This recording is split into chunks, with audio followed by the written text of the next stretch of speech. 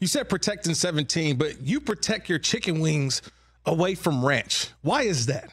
Are you not a Oh, ranch guy? funny. Are you only blue cheese and Oh, man. barbecue? Like you protecting the quarterback? How you protect the wings from the ranch? I'm not a ranch guy either, but always want to know your perspective because I know that maybe in Buffalo, home of the Buffalo Wings and Anchor Bar and and all the other spots that I've been to. What is the, yeah? There you go.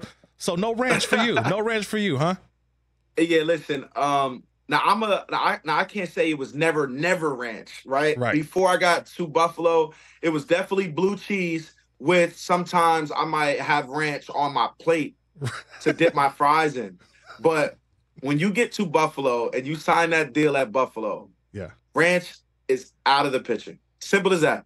It's either you're on board or you're not. We eat blue cheese in Buffalo. The blue cheese in Buffalo is different from the blue cheese in Carolina, Texas, California, Arizona. It's different. Like our blue cheese, I you could think about it as nasty. They make it. They make their own blue cheese. And uh I love it. It's good. It goes good with the wings and it's crazy because almost every restaurant there the blue cheese tastes different so when you go to Bar-Bill their blue cheese is is a hint different from mulberries and from La Nova's and from and from ilios like everybody's blue cheese has a, a different hint but i'm a big boy so i definitely I'm just saying, like you just my you sauces. just you just broke I down like sauces. you just broke down blue cheese dressing in like five different ways. Like this one Talk has a hint it. of this. This one has a hint of this. Like This one got more chunks. This one don't got no chunks.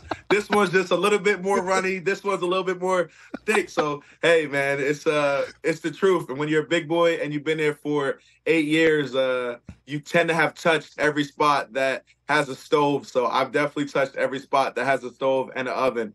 And uh that blue cheese is definitely king over ranch. Catch the Rich Eisen Show every single day on the Roku channel, 12 to 3 Eastern, for free.